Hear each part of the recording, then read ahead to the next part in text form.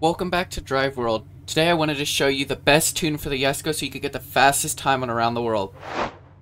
Here is the gear tuning. It's basic. You might want to change it a little bit to make it better. Thank you to Andrew for this though. Second off, to make this car way faster, you want to do this to your suspension.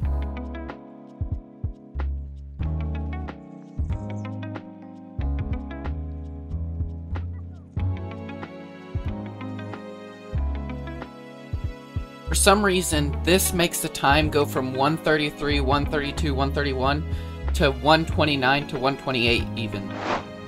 Now I'll go into an around the world race so you can see how fast this actually is.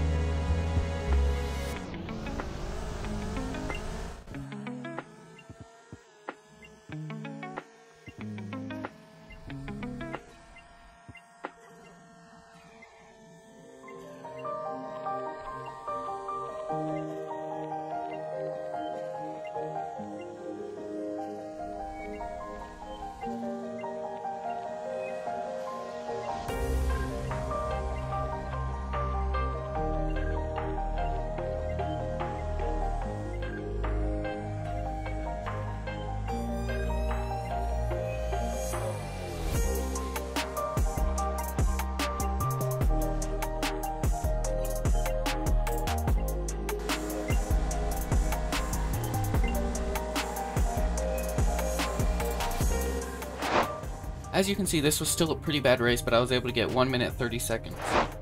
Also, let me add, get the race crank instead of the track crank, it actually isn't better, even though the score says it's higher.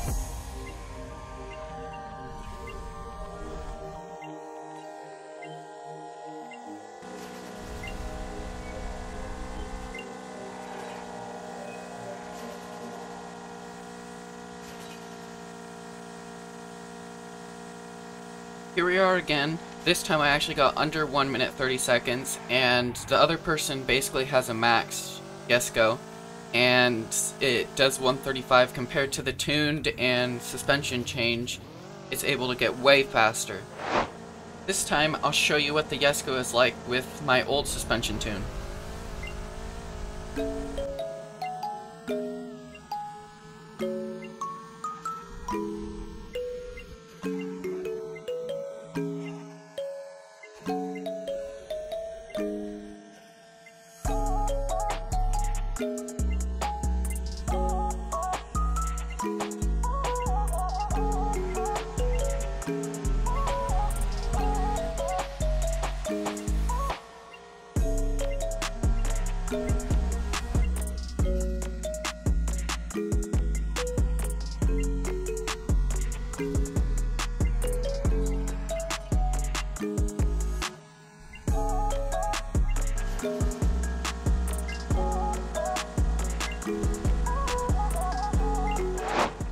As you can see, the time is way better than the other cars that are in the game, but changing the suspension makes the car go way faster.